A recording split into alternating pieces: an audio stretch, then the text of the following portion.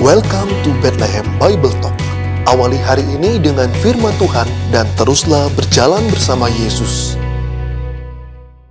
Shalom jemaat yang dikasih oleh Tuhan, kita masih terus membahas Injil Matius dan hari ini kita akan berbicara salah satu dari delapan ucapan bahagia, yaitu tentang miskin di hadapan Allah.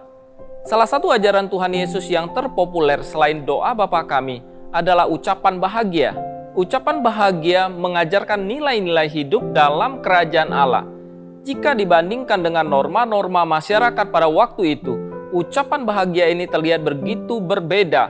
Apa yang dipuji dalam ucapan bahagia ini sering kali justru direndahkan dalam tatanan dunia. Istilah bahagia atau makarios lebih mengarah pada perasaan bahagia yang didasarkan pada sebuah fakta rohani yang baik terjemahan berbahagialah bisa menimbulkan kesan yang subjektif dan tidak stabil karena perasaan orang sering berubah-ubah. Tetapi terjemahan diberkatilah terkesan kurang menekankan aspek subjektivitas yang ada. Jadi makarios adalah titik temu antara perasaan bahagia secara psikologis dan fakta rohani yang baik secara teologis. Kita berbahagia karena kita menyadari keadaan rohani kita di hadapan Allah. Berbahagialah orang yang miskin di hadapan Allah karena merekalah yang empunya kerajaan sorga. Setiap bagian dari ucapan bahagia ini diakhiri dengan sebuah akibat yang ditulis secara konsisten karena mereka akan orang yang sudah hidup di dalam kerajaan Allah pasti akan memperlihatkan nilai-nilai kerajaan Allah dan pasti akan menikmati hasilnya.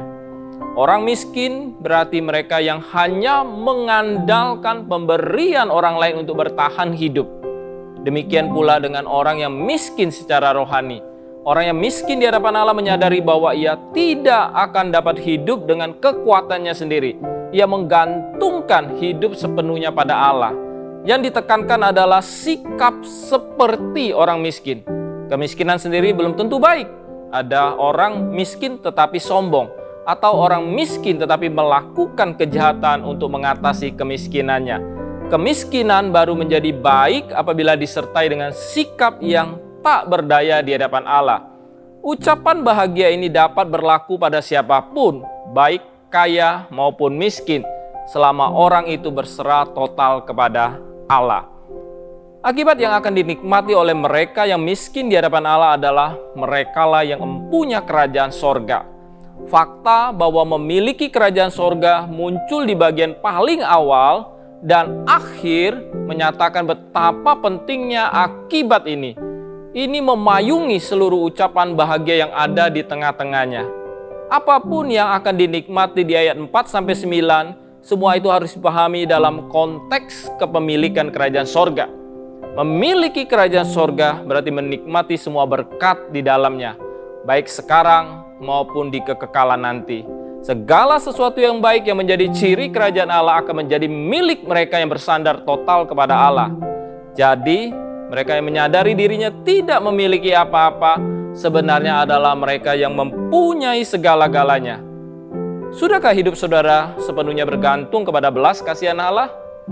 Sepanjang tahun 2022 ini, marilah kita terus bergantung kepada Tuhan dan berjalan bersamanya 24 jam setiap hari. Mari kita berdoa. Bapa di dalam kerajaan sorga, biarlah kami menyadari bahwa diri kami sangat bergantung kepada Tuhan. Untuk itulah Tuhan kami perlu belajar untuk berjalan bersama Tuhan setiap hari, 24 jam sehari. Tolonglah kami ya Tuhan, agar kami dapat senantiasa berjalan bersamamu karena kami tahu hanya di dalam Tuhan maka seluruh jalan hidup kami akan menuju jalan yang bahagia dan penuh dengan damai sejahtera.